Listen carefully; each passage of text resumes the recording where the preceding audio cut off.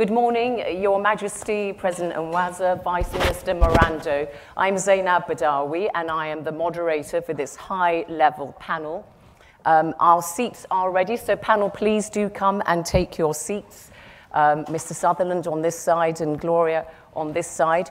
Um, while they're taking their seats, I would just say what a great pleasure it is for me to be celebrating International Day of Family Remittances because as Her Majesty Queen Maxima said it was uh, very generous of her to associate herself with the migrant community by reminding us that she left her native Argentina and is now Queen of the Netherlands, although I hesitate to say, Your Majesty, that uh, we can say that the message to any aspiring migrant is to leave your country of birth so you can join the ranks of European royalty.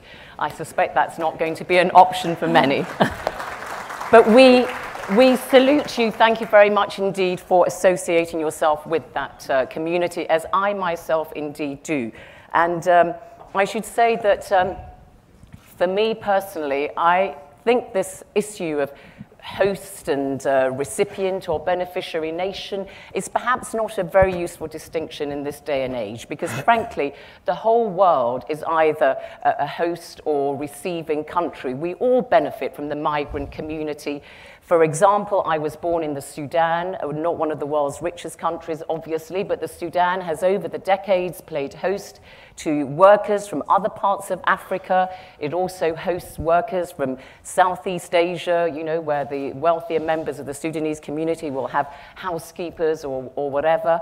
Um, I also, on the other hand, have members of my family who work in the Gulf, work in Europe as doctors and so on. So, you know, all of us benefit one way or another from the migrant community on all levels, you know, babysitters, housekeepers, doctors, nurses, or whatever. And even richer countries like my home country, the United Kingdom, I know from my British friends there are many British workers in other parts of Europe, in North America, further afield. And you know what? They actually also send money to their relatives back in the UK elderly relatives and so on. But the difference is, of course, in countries which are developed like the UK, you do have the safety nets, and as President Nwanze um, said very much, that often for migrants from developing countries, the remittance is actually their only support, their only means of support, their lifeline, which is why in our discussion today, we are going to be focusing on the links between remittances and development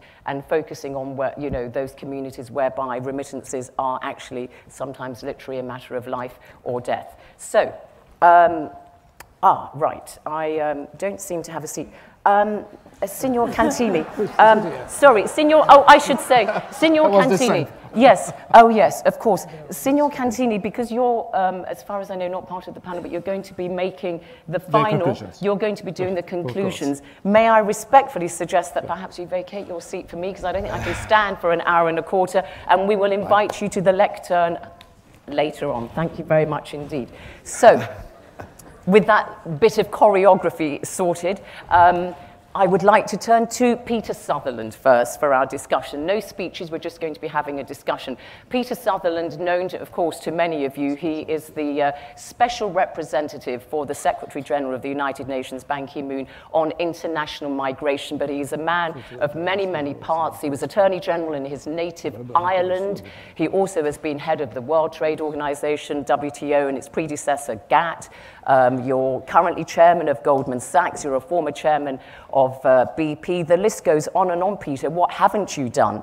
But anyway, I want to say that uh, you could make the um, opening comments. I want to ask you why this issue of remittances and the link between development is so critical in your point, uh, from your perspective, looking in particular at the contribution that migrant workers make both to their country of origin and the country in which they are operating. And as we were saying earlier, as an Irishman, there have been many migrants from, the, from Ireland over We've the centuries. The world. You've enriched, enriched, the world. The world yes. You are therefore very well suited to uh, explain to us why you think that uh, this part of the migrant debate is one that has been rather neglected and must really feed into this debate uh, that we're having at the moment.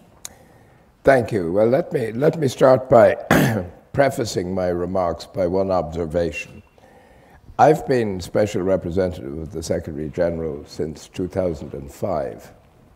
For much of that time, the issue of migration and its impact on the world was a side issue, an issue on which a great deal of hot air was spent and less practical results took place than were necessary.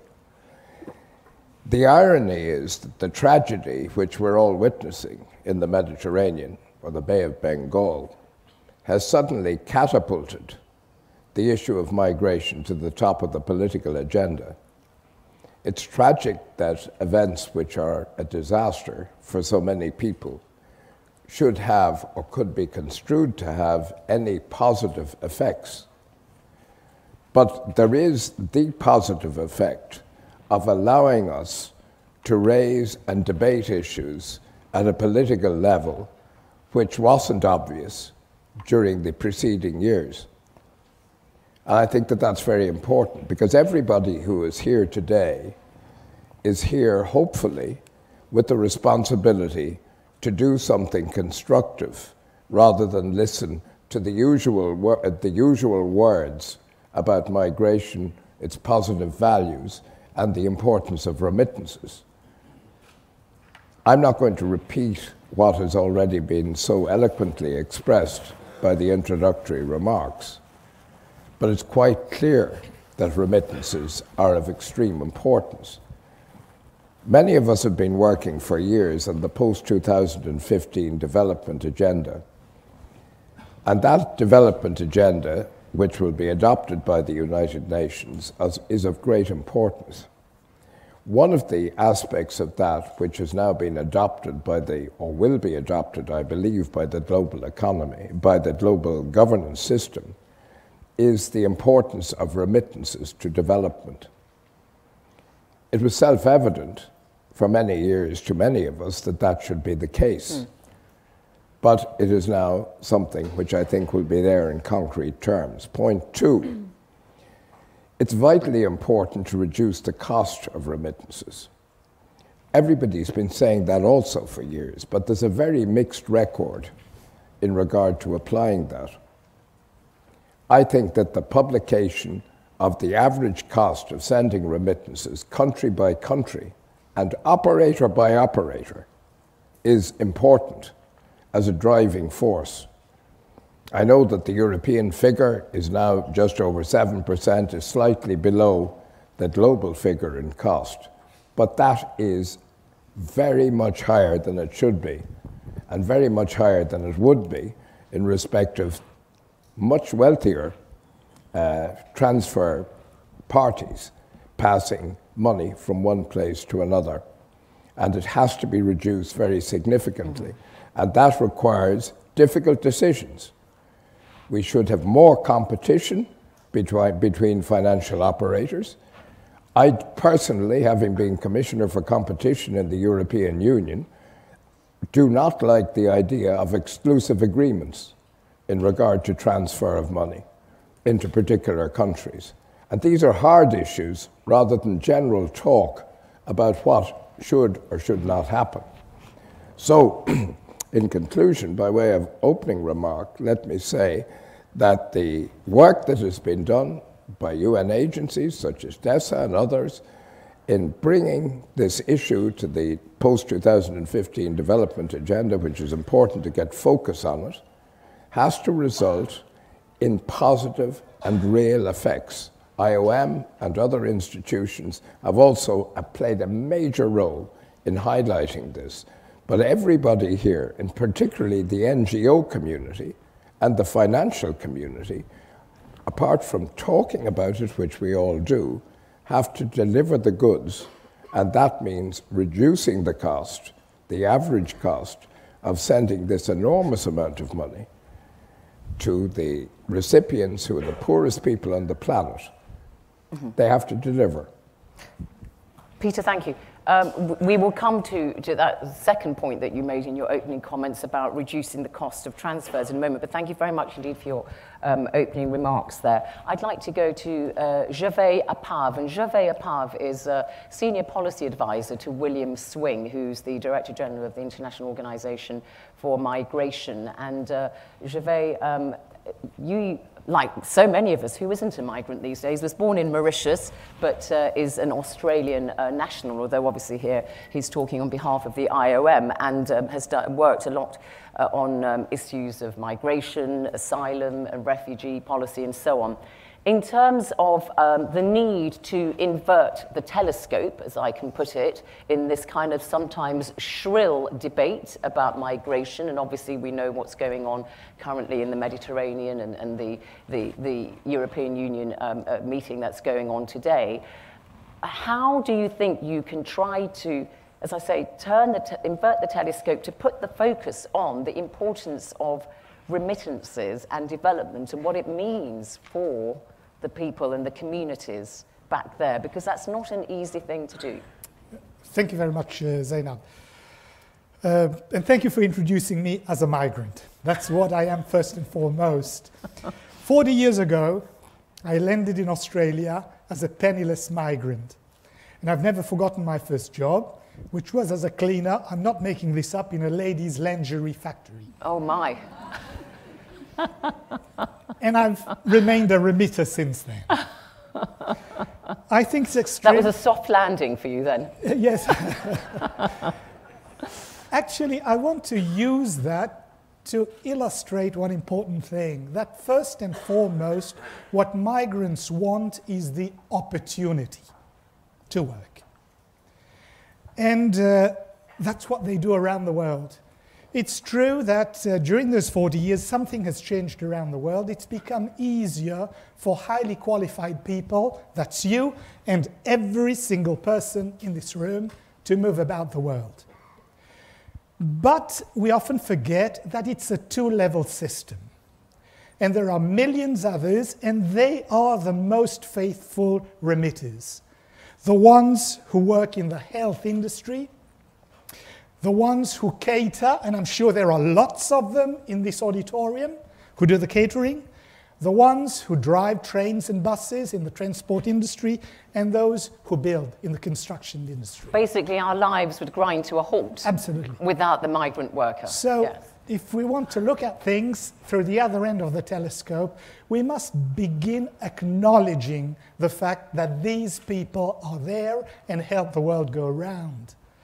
And I'm absolutely delighted to notice that uh, the uh, symbol that's been used uh, for the International Day of Family Remittances is a heart. It's a heart driven system.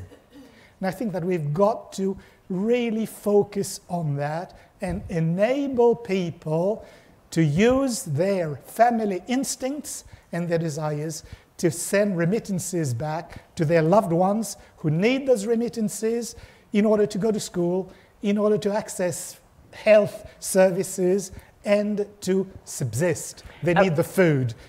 Okay, and Gervais, why do you think that uh, it has been so difficult to focus on this link between remittances and development, and to what extent do you feel that that is a result of um, perhaps the confusion between um, you know, irregular migrants, migrants, asylum seekers, refugees, and so on, that in a sense, if you want to emphasize this, you have to kind of address these issues.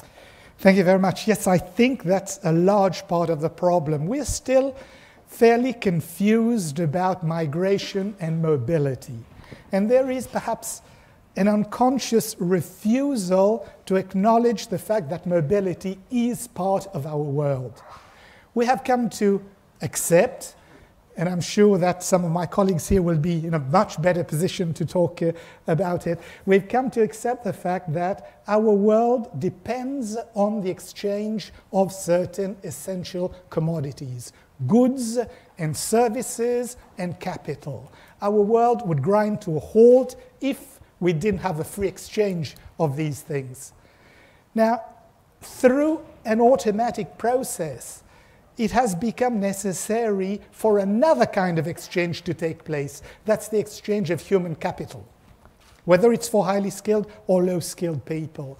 And I think that until we acknowledge that, it's going to be difficult for us to develop the policies that are needed. We need to go upstream to have systems that enable people to move safely and in dignity.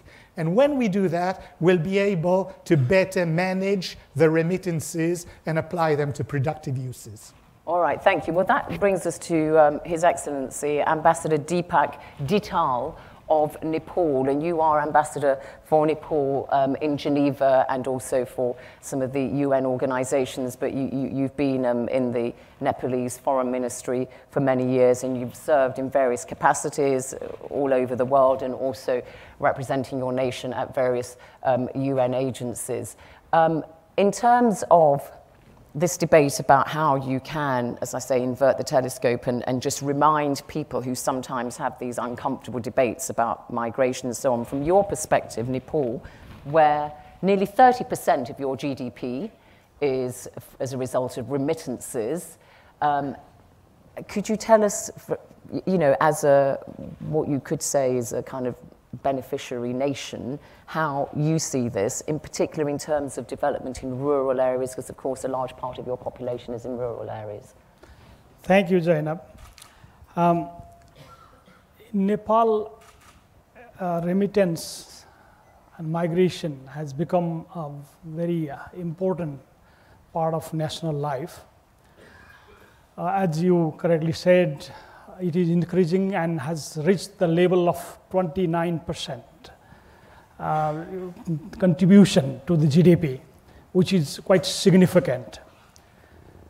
And around uh, 3 million of our people are abroad in uh, search of employment uh, and they have been remitting money to their families, households, and nears and dears.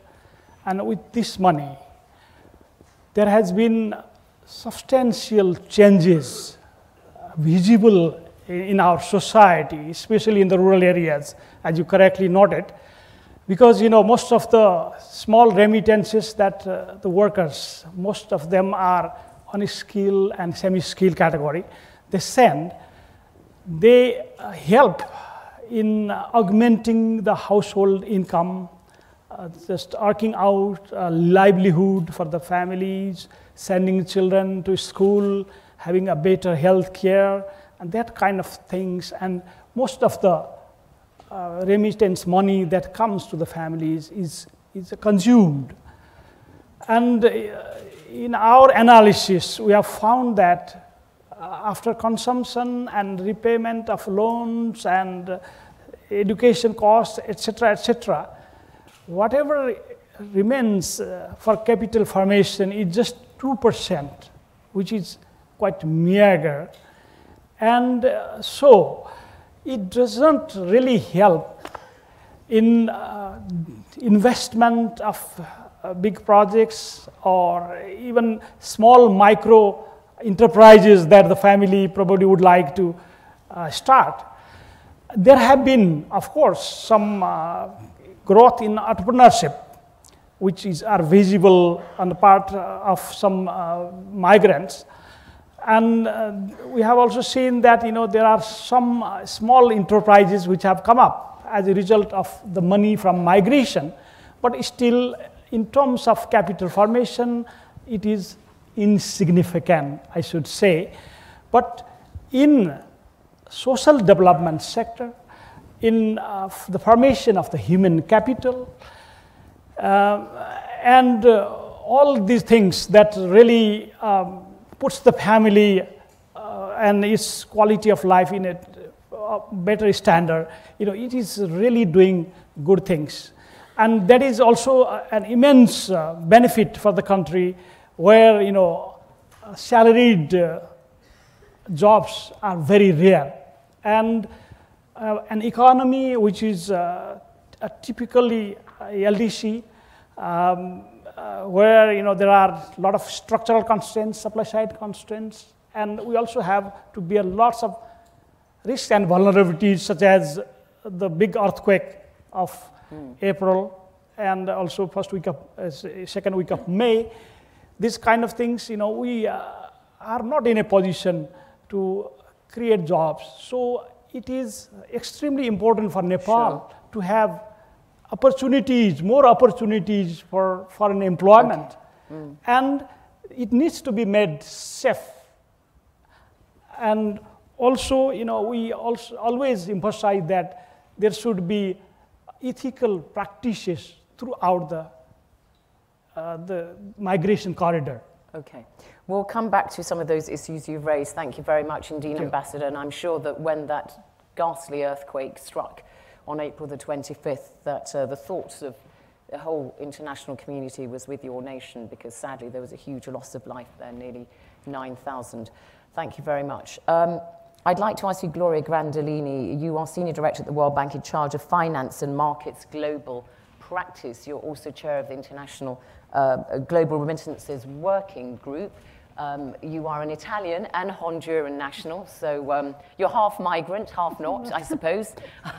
and um, I should say to you, congratulations. I think you've been at the World Bank now for 25 years, is that right? You don't look old enough, by the way, but there we go. Gloria Grandolini. We have heard um, our keynote speakers this morning and also now um, on this panel this key issue of making the transfer of funds, you know, the MTOs as we call them, uh, to, to reduce the cost. We heard Queen Maxima of the Netherlands talk about the cost can be as much as between 8 to 20% of the money actually earned, which uh, is, to be honest, a tragedy that people who work for relatively low incomes have to see so much of the money consumed in the transfer. You're trying to see what can be done on an international level and so on. So please give us an overview of just what you are doing at the World Bank and how much progress you've made in this regard. Well, thank you very much for this opportunity. And as you were saying, I think what is amazing in uh, this conversation is how, if we think about it, every of us has our own migration story. And in fact, my grandfather went from Italy, from the poor south of Italy in the 1920s to Honduras to actually support uh, his family in, in uh, close to Naples. And then, you know, uh, that's why I'm here today in the end. So I think we all have our own personal story of migration. And I think for us at the World Bank, this is actually at the core of uh, where we, we really see our, uh, our, our, goal, and it's very much linked to our twin goals of eliminating poverty and, uh, and fostering shared prosperity. And for us, really having uh, reliable, stable, and efficient uh, uh, remittances is very, very important. it's actually at the core of the work that, that we do. And uh, really, our approach has been uh, to really take a very comprehensive approach, approach that actually includes not only the public sector, but also the private sector. And, uh, and really to work working with partners, I was saying both on the public and private space, to really work in the whole spectrum of areas where we need to operate to be able to, uh, to help decrease these, uh, these costs. And that but uh, as Her Majesty and others were, were mentioning, uh, we have made strides since, since uh, 2008, but still the average is still 7.7, still not the 5%. Although we need to highlight that uh, already with this decrease on average from 10% to 7.7, there has, to, uh, there has been actually a saving of about $60 billion uh, throughout. So there have been advances. There have been advances, but forgive me for interrupting. It tends to be in the poorer nations or in right. the poorer communities where the cost is disproportionately high. Exactly, and that's why uh, our approach, and that's where uh, being able to work globally, not only with uh, the recipient countries, but, uh, but also with the, with the countries that are sending, is helping us with this comprehensive approach. And here to give you a sense of the, of the breadth of what we cover, we work both on the legal and regulatory systems of countries, but we also have seats, for example, at the Financial Stability Board in many of the standard setting countries where we can bring the voice of those emerging uh, economies that actually do not have a seat in those standard setting bodies. So we can work both with the countries that receive the migrants, but we can also work then in our everyday operational work with the countries that actually uh, uh, are, are, are, the countries of the migrants. But we also uh, work and have a whole team that works actually on the payment infrastructure that supports once again, the work in, uh, in, in the countries that receive the payments, but also working with the, with the providers, with the mobile uh, providers. I think the other part that's very important for us is that the, the, what has been mentioned, that we really want to make sure that the safety is there and the transparency, and that is very important, all the work on anti-money laundering, on illicit financial flows, but that we feel uh, here too that we have to uh, also uh, be, um, be, be, cognitive that the fact that there's, uh, there's also the need to ensure that this does not uh, increase the costs. So we work on the legal regulatory framework, but we also work on the data, which all, if you notice, most of the data that has been mentioned here today actually comes from the work that we're, uh, we're, we're, coordinating. And, and our team uh, uh, publishes uh, regularly data on, on countries, and not only on countries, but also on, on providers. And actually, what we're trying to develop uh, constantly is new indicators, indicators that are helpful to, to understand better actually exactly what was being mentioned before, that the cost has several components. And so we need to look at the, at the cost from both sides and the cost also from the, the, the private sector. In fact, we're now we've developed a new indicator called SMART that is actually focused on availability and accessibility, and we'll start um, uh, publishing that information soon. So the other, uh, maybe just to, to, to, stop here, because I know this is uh, something that we'll elaborate further in, in, in the, uh, in the panel, we're actually working on the ground uh, with over 60 countries in helping uh, uh, make very specific assessments of what are the, the needs uh, to actually uh, lower the cost going forward. So we're still very optimistic, even if the goal has not been reached as of now. Okay we'll ask about the lowering the cost, but just one specific uh, point, if I could put to you, Gloria, which is you talk about the standards setting bodies, the need for transparency, illicit financial flows, and so on.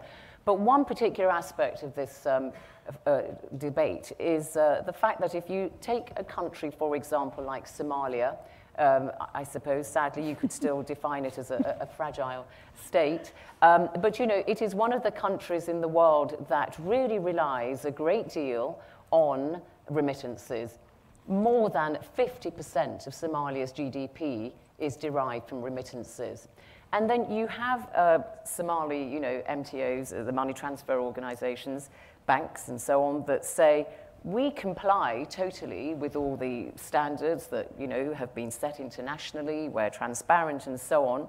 But we find that there's an obstacle to us being used as a vehicle for transfer because we're told by members of the international community mm-hmm. or Western nations, we're happy with you, but we don't know who the recipient is, uh, you know, in Somalia or wherever. And sadly, with the world as it is, where a lot of people feel that, in particular with Africa, that it's the kind of soft underbelly for some terrorist organizations, in the case of Somalia, Al Shabaab, and so on, people think actually, you know, we're not going to be able to allow this to, to go through. So what happens is people find informal ways, you know, suitcases of cash or whatever going in.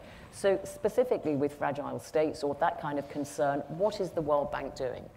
Julia, thank you very much for that question because I think it's, it's exactly a long question, wasn't no, it? No, no, Actually, on that one, I am well briefed. Thank goodness for that. actually, Somalia is one of the countries where we are working uh, very explicitly and I think that gives you exactly an example of how we will work with uh, uh, both on the, on, on, the advisory side, but also with the convening power that the World Bank Group has. Because Somalia is, in fact, one of the countries where we're actually working uh, on the ground, uh, working both with recipient countries, with countries that are host to these correspondent banks, and with the Somali government, exactly to see how uh, we can uh, use our, our expertise and, and, and our knowledge to actually develop some safer corridors and uh, and uh, some way to actually allow, notwithstanding the constraints of following this, uh, these international standards, which should be followed, but at the same time have the flexibility to not uh, interrupt the flow of, uh, of, of, of, remittances. So this is exactly the type of work we would be doing, where we actually have the relationship and we can work directly with the country, but then we can work with the recipient countries, and we can work with the, with the operators and with the banks in, uh, on, on both sides. You've got a time frame because uh, well, we're, I can now. tell you that we are working on the ground, and it's, it's a constant dialogue that we're having. It is not easy. I think we also have to acknowledge the complexity of, uh, of, of, of, this problem and how there's many, uh, there's many partners, but uh, I think this, uh, this could be actually an example of, uh, of, of, the type of, um, uh, of, of, flexibility that actually can be found to, mm-hmm. uh, to develop it. So it's, it's ongoing, it's live now. okay, good. Well, let's hope that we've given it a little bit of impetus today. Peter Sutherland, are you a sway? You, you, you raised in your opening comments your concerns about the, the, the cost of transfers and so on, and that in some cases you have perhaps near monopolies or oligopolies, as it were. Are you satisfied with what Gloria has just outlined about what they're doing in the World Bank in that particular regard, or do you want to say something directly to her? Well, Cut well, out the middlewoman. well, I don't, want, I don't want to appear to flatter the World Bank, but I should have mentioned them at the outset because of all the international agencies that have focused and created information flow on this particular issue, the World Bank have to take pride of place. They've played a very important role, and in terms of much of the debate, there are a number of other countries who also deserve credit, like Bangladesh, Sweden, Switzerland, Turkey and so on, who have been very useful in the post 2015 dialogue debate, which is around this subject. With regard to what has been said, I, I'm, I'm not sure that we have enough leverage in terms of public information flows on issues of exclusivity of supply of services in this area required in certain countries and the absence of competition. And Gloria can perhaps respond to that with greater authority than I can. But there's no point in trying to duck this issue. We have to take it on in fora like this. And I see a number of people nodding heads, which is provoking me to uh, be even more assertive than I have been. When have it's you a, ever been restrained, Peter? No, I haven't been, but I do think that this is important. We can't duck the hard issues. And this is a hard issue that has to be taken on by the multilateral agencies. The second point I would make about this is that governments, and many of them are here, are not joined up on the issue of remittances, or indeed on the development and migration. They operate in silos. You've got the Justice and Home Affairs, who seem to be in charge of control of borders. You've development, which sees its role in governments often in terms of the disbursement of development aid in the, in the first world countries, but is not linked to the free movement of people or the free movement of capital. You've departments of finance who don't look at the cost of remittance transfer at all. They're concerned with national budgets and they're not linked into development. They're not linked into Home Affairs and Justice and the other areas dealing with the poor migrants who are coming to the country wishing to support their families at home. This is a major problem in the developed countries. And in the Global Forum on Migration and Development, we found more and more difficulty in breaking down this silo complex at national government. So we have two problems in the official area. We have the problem of transparency exposing the absence of competition and the exclusive agreements, etc., etc. And we have at national level a lack of joined up thinking on how to maximize what could be an enormous benefit for the poorest people okay. on the planet. Can I ask you how you then regularize the flow of remittances when, as you say, you're dealing with such an irregular, uncoordinated, situation whereby you have the largest migration flow since the Second World War. And as you say, every national government is operating in its own silo, as we see very clearly in this scrap within the European Union. How do you regularize that? Well, I, th- I think we're doing it. At, I think we're beginning to do it at global level through this post 2015 development agenda because it's being discussed at UN level it's being done in the UN by the development of the GMG, which is the different agencies working together, including outside the UN, IOM, which is vital to this. All of these are beginning to work together in a way that didn't happen before. But the big issue, in my view, is also the NGO community publicizing and having the information available to them to publicize the deficiencies in the existing system on a country by country basis. This may be embarrassing, and sometimes agencies don't like pointing the finger. But we have to start pointing the finger on this because we're talking about billions of dollars that are being wasted. There are, of course, other areas like recruitment costs of migrants who are paying enormous sums of money because recruiters, both in terms of the developing countries, the countries of origin, and in the countries of destination, are rooking the workers mm. when they come and end in the country where they're working. I've been in the Middle East, mm. I've spoken to these migrants, and I know that they're paying an enormous okay. proportion of their income, sure. uh, which, which is then denied to remittances. Both Gloria. Both Gloria and Gervais, uh, as members of multilateral organizations, uh, how far can you address this problem that Peter Sutherland has particularly focused on? Because obviously, as we said, a lot of the remittances are sent by what are called irregular migrants. Who is going to stand up and say, I'm a spokesperson for irre the irregular migrant community? They're likely, likely to be carted off somewhere and uh, denied a platform. So therefore, it means that when it comes to trying to regularize the remittances flow from what may include irregular migrants, it falls to the multilateral organizations perhaps to speak on behalf of these invisible communities who cannot raise their heads above the parapet. No, this is absolutely part of uh, what I was mentioning before about our role in terms of, of data.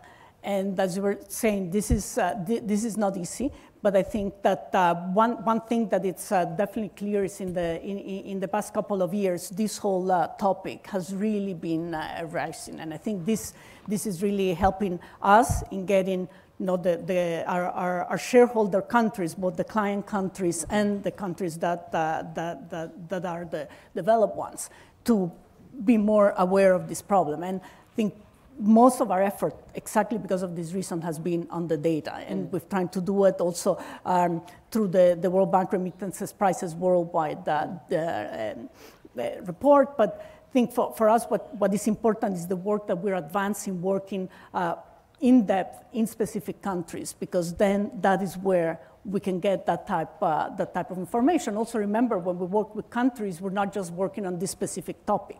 So we, we, we have a relationship okay. that then allows to understand together with uh, other colleagues. For example, this is very much linked to our colleagues that work on the social protection uh, area, on many other areas uh, uh that, uh, that can be helpful. The work we're doing to uh, having unique identification, um, no, so, so, you're working so, across we're working across exactly not in silos. Exactly, we're working, and this is part, in fact, of, of, of the beauty of the of, of, our new system of global sure. practices, where we work globally, but then we work across. And it's working. This approach is working. Do you feel? It's absolutely. It's, it's absolutely. We on, we are seeing the, the type of information and dialogue we can have across other colleagues. And I think that's where we can start getting this, this information because absolutely at the beginning it was really information that mm. was easier to get, the, the okay. official information. So we think we're, we're making uh, uh, advances making in that, headway. and we're definitely seeing that this is surfacing this need. Gervais, just to finish on this particular point, on everybody agrees that there is a need to have greater transparency and uh, to, you know, crack open some of the uh, the, the high charges for transfer uh, for remittances back to, to home states. But do you feel that that can be achieved, having some kind of international standard before you can regularize the kind of migration flow, have that kind of international coordination that you talked about, the need for, you know, the current mess that we see, that you've got to do that before you can address the issue of remittances and making them more transparent? I, I wouldn't say that we must, uh, I wouldn't put it as a condition. I think that we can already do a great deal to ensure that uh, remittances are used productively, have maximum impact. And uh, uh, I think that all the speakers this morning have highlighted one major objective, so I, will just uh, go over it very quickly. That's to drive down the need to drive down costs. That's the first objective, the second objective, and the third objective. Now, to put that in, in context, I'd like to um, go back to what Peter was saying about the need for joined up thinking in the field of migration. and that is work in progress. Uh, you were asking, can we do that? I'd say we must do that. Uh, there's no other way. Um, we have created a globalized world where people are going to move. Uh, Zeinab, please allow me to be controversial. Don't hold back. Using an analogy. The last time the world was as divided about a topic was in the 60s. From my gray hair, you will see that I'm a member of the 68 generation. The topic in 68 was not migration, it was human sexuality. And there was a huge debate about whether there ought to be, people ought to be allowed to engage in sexual activity and whether we should have policies about reproductive health or not. The world was divided and it was felt that it would never be joined up. It was joined up at the moment when the world realized that human sexuality would happen. I think that we need to begin by saying mobility is happening. Now, from that point on, we need joined up discourses. Unfortunately, at the moment, migration and mobility has become heavily politicized. Mm. So we spend a great deal of time asking ourselves should they be allowed? Should they not be allowed? At the point at which we say it is happening, the mm-hmm. discourse changes. But can I ask you this, and then I'm going to come to uh, the ambassador of Nepal. It, mobility, because we know often, you know, people talk about the brain drain and so on. You're saying just let people go, even if it's the best and the most talented. Just briefly on that. I wouldn't say that. I would say that once we acknowledge the fact that it's going to happen, we must create the means for it to happen safely, okay. with no harm to the individuals concerned, yeah. to the countries of origin, and to the countries of I think we all agree with that because the terrible tragedy of that boat that capsized coming across the Mediterranean with nearly 800 people dead, and every single individual sure. had a tragic sure. family story, and, and, their families are, are still grieving. Um, Ambassador Dhital, so I think we all agree on the, on the money transfer aspect that, that somehow we've heard what's being done uh, on the multilateral basis to address uh, that thing about bringing down the cost. But to move to what you were saying about um, the fact that some of the funds coming into a country like Nepal, where sadly, you know, the government doesn't have the means necessary to provide well for all its citizens, uh, and you talked about the fact that very little of that money is saved.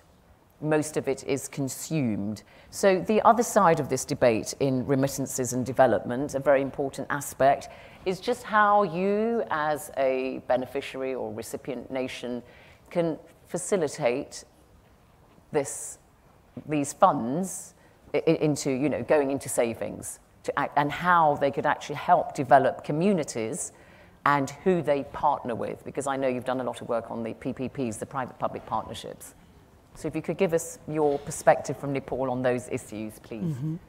Well, first, uh, I would like to uh, uh, really agree uh, what uh, Peter said. It is very important that we need to bring down the cost of remittance and also the cost of recruitment because uh, some of the poor workers from South Asia, from Nepal, for example, you know, they are paying five to six months salary in terms of uh, recruitment cost. And it is to recruitment agencies. Yes, yeah. and uh, well, to bring it down, uh, well, we uh, think that we need to promote ethical practices throughout the uh, the, the migration corridor. It is should start from the destination country and should continue uh, to the origin country also. That is important. And the third aspect also I would like to add here, before I come to your point. Yeah, yeah, yeah. Uh, is uh, the rights of the migrant workers must be protected in all situations their potential to earn should not be undermined. Their potential to contribute to development will be undermined if they are not provided with their basic rights. That's also equally important issue that needs to be addressed. And as for the capital formation uh, with um, the remittances is concerned for countries like us, there are still a lot of challenges. Well, we can uh, probably have uh, diaspora bonds. And we can uh, develop some kind of cooperative venture uh, among uh, the migrants to pool their resources and invest in productive sectors which can bring better income for their families, for the households, as well as can uh, create employment opportunities for other people that can have good uh, cascading influ influence in the economy also. Um, for this, you know, we need to leverage uh, resources, mm. not only from the government, but mm. also from international organizations, from the private sector, and also from the civil society. Sure. Together, uh, we, but we can create synergy of utilizing the money in the right sort of productive projects, okay. micro yeah. uh, activities, whatsoever is possible and uh, probably you know it will trigger a cycle of uh, good investment and saving. Okay, you raise, Ambassador, th this issue of, of, how one way of uh, converting the remittance flow into savings and investment is through a diaspora bond.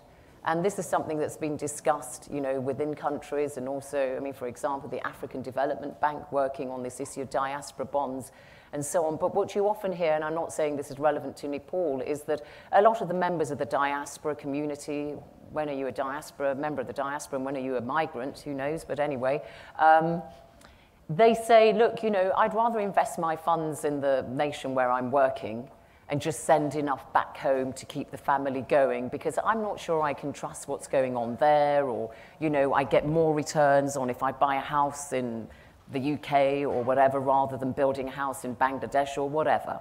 So, how do you, as a destination nation, make it attractive to migrant workers and say to them, look, bring your money back here, help us develop?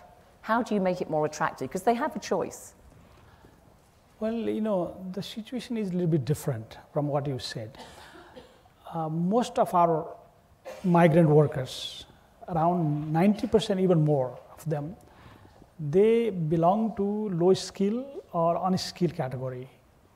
And their average earning is from two to 300 US dollar. Okay. And with that money, after their meal and clothes and all, all these things, necessities, you know, whatever they could save is very little. And that money is transferred to their families for a livelihood support.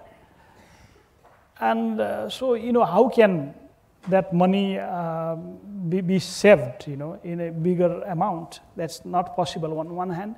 And these people, which I am, uh, whom I am talking to, you know, uh, the, these people, they, they remit whatever they earn and uh, save. They are very faithful to their families it is because it is their lifeline. So you can't leverage yeah. and, this funding yes, yes, in any leverage way is not possible. Nepal.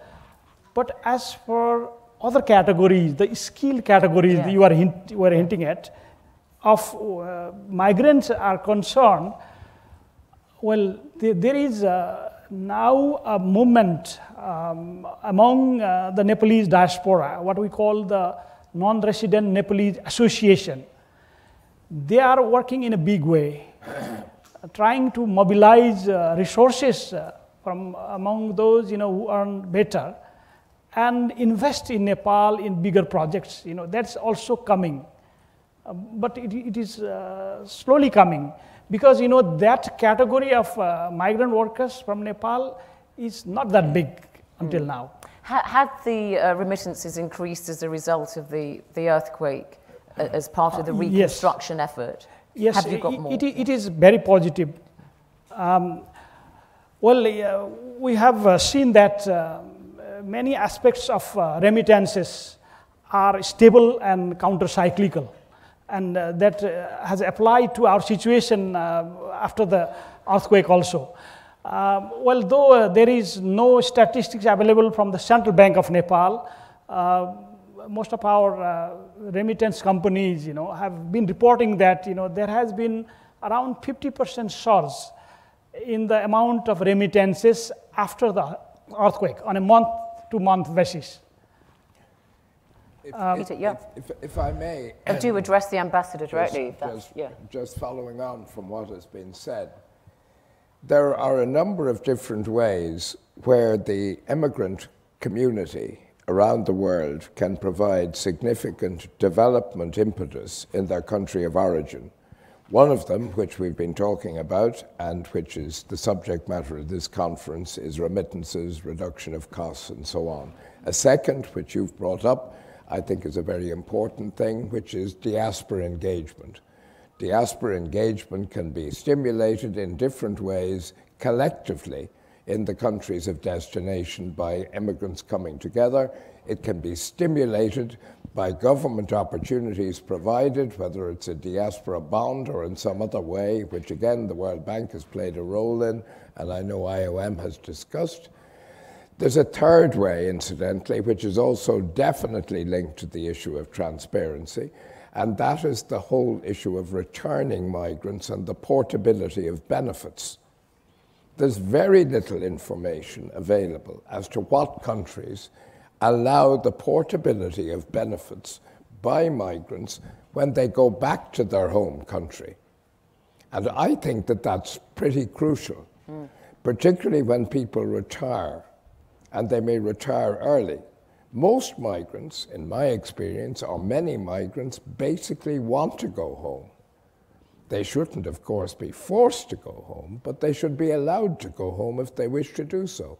And as they have contributed to the exchequer of the country which they have come to, and the evidence is clear that they're a net benefit to the countries of destination rather than, as some would pretend, a draw on the finances of the countries that they go to. They massively benefited.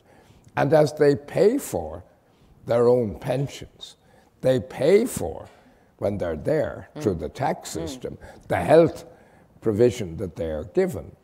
This whole issue of the portability of those rights is something that has to be looked at And that port- country by country so they can mm, bring yeah. them back mm. to their home with them. But in practice, do you find that that portability of rights, for example, within the European Union, where you might have a migrant worker from, I don't know, Poland or the Czech Republic working in the UK, it is possible for them to go back after, Well, don't know, within the 25 European, years, whatever. So, I, I'm, I'm no expert on this, and I'm no expert on anything. But as far as I know, the European Union does allow Yes, it a certain degree of portability and so on within the system of the European Union, which of course is a supranational entity Hmm.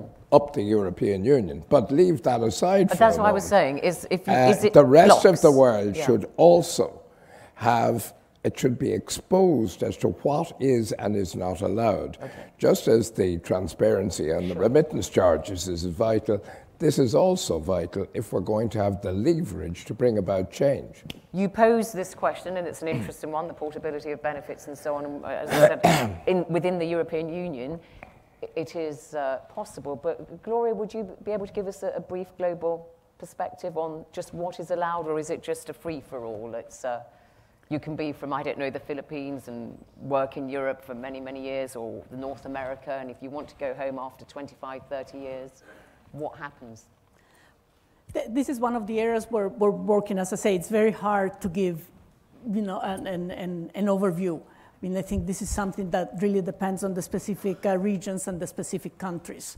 So it's definitely something that it's that it's part of the dialogue, but it's something that now really uh, is is not. There is not something across the, the board. But is it on your radar? Yes, something you're going to be radar. looking at. Yes, it so it's watch the space, Peter. I'm watching spaces all the time. The difficulty is the spaces don't get any smaller. Gloria, um, picking up on what Ambassador uh, Deepak Dhital talked about, and uh, you, you, know, making sure that what, what it's, it's sort mm-hmm. of, I suppose, a, a, debate about financial inclusion exactly. and so on, particularly for those low-skilled workers. And one has to make a distinction between the amount and the regularity of the flow of remittances from the semi-skilled, unskilled, and the highly skilled, you know, as the doctors I was talking about. I have 22 cousins who are working as doctors in the UK. So, you know, obviously the amount of money they're going to be sending back to Khartoum is going to be of a relatively um, high order. But you are spearheading the World Bank's Universal Financial Access 22, 2020 target, which is quite an ambitious um, target. So perhaps you could tell us how what you're doing there feeds into this kind of debate. Yes, and actually, I think for us it's very important because this whole remittances work is actually part of this broader context. And one of the, the key goals that uh, our president Jim Kim uh, has set, and actually he said it in October 2013 together with then Princess Maxima, with re- reaching this uh, uh, universal access, universal financial access goal by 2020. And, and here the important point is that here the goal is basically a commitment to work uh, uh, with, uh, with uh, our, our, client uh, countries and with the private sector and with all the, the other partners uh, to make it possible for all individuals to have access to a transaction account where they can save money, where they can receive money, and where they can send money. And this, for us, is really the starting point for what is then financial inclusion. You first have to have financial access. And here, this is very important for this whole debate on remittances for, for, for a couple of reasons. One reason is that uh, uh, really this, uh, the remittances are usually uh, the first uh, uh, occasion, is the first opportunity to actually use, utilize that inclusiveness and that really the desire to be able to, to transfer this or receive these remittances is what uh, it's also an, an, an, incitement to go and, and have uh, this accessibility.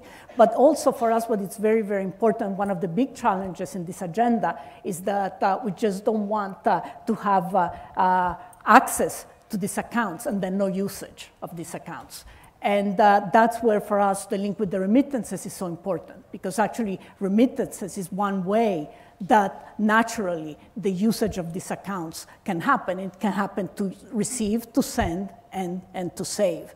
So, so for us, really, the, the focus we're now putting uh, on, on the financial inclusion, financial access, financial inclusion agenda is very much linked to, to the remittances, and this actually has become one of the, uh, since particularly the last year as we created these new global practices, for us now, uh, it has become a parallel goal of what we had of financial sector development, building deep, diversified, stable financial systems. Now, for us, building inclusive financial system mm. is now at the core of our mission. Sure. And Gloria, um, in terms of um, financial inclusion, one important aspect of uh, you know, increasing the impact of remittances in development is obviously, you know, the money that comes in, if there is, uh, if it can be linked to microfinance, which is often uh, something uh, available to women, who, mm-hmm. of course, as we know, in many parts of the world form the vast majority of, for instance, smallholder farmers and so on. Although there's nothing micro, to be honest, about what women do. I don't know why it's called microfinance, but anyway, everything we do is major. But um, why, uh, so how does this, you, you, how, how, you, how can you engage with nations, countries, governments, and say to them, look, what are you doing in your you know, own national banking system? Because we know that there's a very, very low usage of banks and bank accounts in, in vast parts of the developing world. Yes, maybe uh, two, two important points on this. When we engage with countries, we engage in a comprehensive manner, uh, as I was saying, throughout all sectors, but also in the financial sector, our engagement, as I was saying, uh, it's not focused only on the financial inclusion agenda, but actually on how we can support building uh, uh, the foundations of a financial sector that go from the banking system to capital markets, to bond markets, to pensions, to investment, uh, to, to insurance, and then to the financial inclusion area that also includes uh, the market infrastructure, credit infrastructure uh, that, that allows that, and then the linkages of finance, for example, to agriculture to agricultural finance and, and smallholders, the linkages to disaster risk finance, the linkages to infrastructure finance. So, so we look at it really in, in, in a comprehensive uh, way to allow that. But I think one, one important point for us is actually that, and that's why I was careful when I said, when we talk about financial access, we're saying access to a transaction account. Because I think one thing that has become clear is that going through the traditional banking sector, or what we thought traditionally as a bank account, is not going to allow us to reach this goal. And to put it in perspective, when, when uh, the first uh, Findex uh, uh data uh, base uh, started in 2011, there were about 2.5 billion individuals that did not have access to transaction accounts. We just got the results a, a couple of months ago of the 2014 survey, and there's still 2 billion. So it's gone down, but it's still a big challenge. And what is clear to us, particularly in rural areas, particularly in the poorer countries, we're not going to reach us to, to traditional banking. Mm. And that's why we see our work working also with, with, uh, um, with uh, different type of, of, of, of, uh, of, banking, with agent banking, like it's been done in India, but also it's been done, actually Africa has been at the forefront of, inclu- of increasing uh, access to transaction accounts through, through mobile so money, for done, example. In Kenya, I think, uh, Tanzania, uh, Tanzania, Kenya, many, many countries yeah. that are actually becoming an example for others. So, so here we have to think differently. And I think this is the same for when we say about reducing the cost of remittances. I think that's why these two agendas are really so intertwined, because really we see that, uh, that uh, new technologies and bringing in also uh, mobile operators and, and not bringing in just the traditional players and bringing in the private sector is what will really help. And here, I think what for us it's very important is to keep always in mind and in parallel the part about financial literacy and about consumer protection. Because clearly we have to be careful this, as there is this, uh, this surge, which is very mm. posi- positive of access, then to make sure that uh, that maintain uh, mm. that. But there is where we really see the, the linkages and, and the potential. We've had some que- questions submitted from the audience on uh, Twitter, but Gloria, you must be telepathic because, uh, although I have to say, I'm rather challenged to see this. My eyesight's very good. No, I can see it, but it looks a bit like the Rosetta Stone from where I'm sitting, what's been written there. But um, you seem to have already answered this question we've received Can remittances help increase finance to financial services for migrants and their families? You see, you answered the question before it was even submitted. Yes.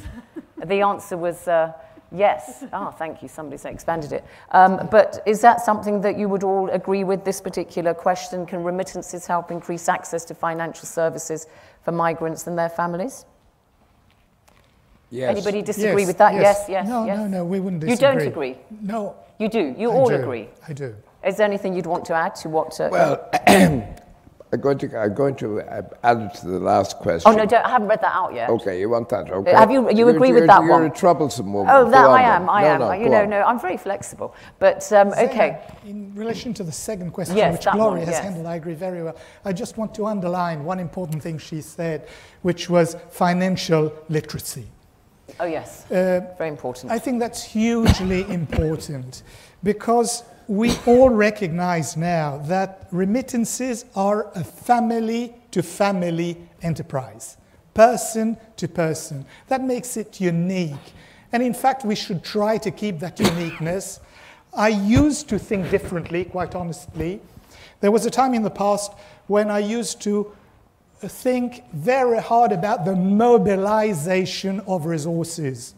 My thinking being that we should find ways and means to grab some of these resources with good intentions, of course, and to allow banks or international organizations to make these resources work for them. So, financial literacy, a very important I'm, part of this. Yes, yes I'm now inclined to go in a different direction and to help people obtain the financial literacy in order to take care of their livelihood uh, needs, as uh, Deepak said, but then help them find ways to use financial products more cleverly. Um, Can I, I sign up to that class? speaking as somebody who's extremely financially illiterate. I think there's a great deal of work It's we a- can do There's a that area. bewildering array of, of what's on Indeed. offer, which brings us to our third uh, question here uh, that was put down. I'll, I'll leave the first one to the end, which I'll address to you, uh, Peter Sutherland, because of course, as I said at the outset, you're a, a chairman of Goldman Sachs. I'm and, not, uh, actually. I uh, you, you were work full-time Oh, when did you? Oh, right, okay. But you, you have a lot of experience in the private sector as well as in the public sector. And there's a specific question here. What is the role of the private sector, not only on reducing the cost of remittances, which is an important part, but also on providing financial services for diaspora investment? We've kind of looked at that slightly, but maybe answer that all the same. Well, I know that there are a number of people in the audience today who represent the financial services sector and, in particular, involved in monetary transfers. and let me make a couple of points about this. It would be, it would be wrong to believe that, pressed by a moral compulsion, however real that moral compulsion might be, that we can expect unilateral steps to be taken by suppliers to do massive damage to their own to their own profit and loss account. One might like that to happen. Maybe it should happen, but it won't. Companies are basically in business often to make profit, and hopefully they will uh, provide fair services for the value that they provide. But in the end of the day, the free market system has established that you need competition in order to reduce costs. And that's for governments. And governments are not doing it.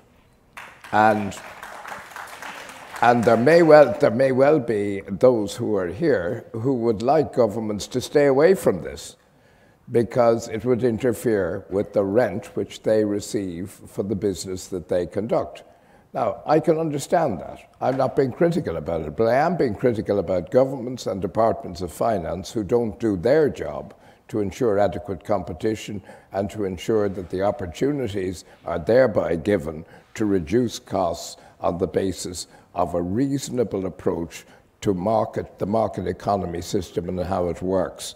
And that, to my mind, is vital. The private sector are not to be free to have monopoly profits in any given society. And that is as true of this area and morally more true of this area than most others. Hmm. And we should have learned our lesson on this, and that's something that has to go out from this conference and from the whole provision of what lower remittance costs is about. Ambassador Dhital, as, as the only. You've struck a chord there, Peter. Ambassador Dhital, Yes. as the only representative of government, as it were, of a nation, what's your response to that? The, the, you, you can't just allow unfettered, you know, market forces to regulate this, and then I'd like to come to you on another point. But if you could just respond to Peter. Uh-huh. Well, uh, in our experience in Nepal and also in many parts of South Asia, uh, well, if we allow uh, the private money transfer companies uh, under certain uh, strict regulation, uh, they can provide uh, good services at a very competitive price to the, to the migrants to send their money home to their families, even in remote areas, without any difficulty. And uh, that has substantially brought down uh, the cost of remittance also. But it, it still uh, needs to, to be brought down. Well, when I looked at some literature, I found that you know it has been brought actually down from 8% to 6% in case of South Asia. Um, uh, So it is substantially down you know, as compared to other regions. But you accept that Yeah. it's the role of Yeah. government. You accept Uh, what Peter says. Uh, y- there. y- Yeah. Yes, of course. Uh, y- y- there are also concerns of AML, CFT, you know, all these things. Uh, you know, money laundering and uh, th- these, these, you know, this, this should not, there should not be room for that.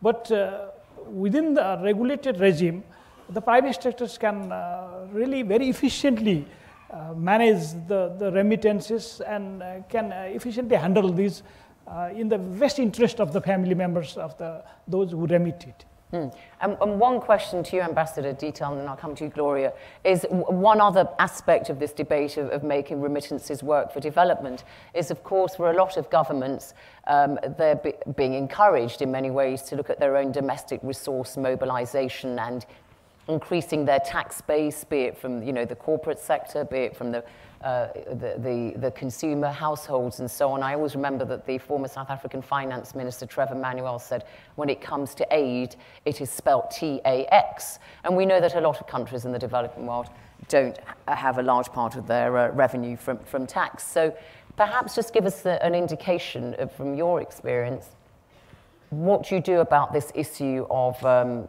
the higher flows of remittances from some of the more prosperous members of the diaspora community. I mean, I, I know that in many countries they are taxed.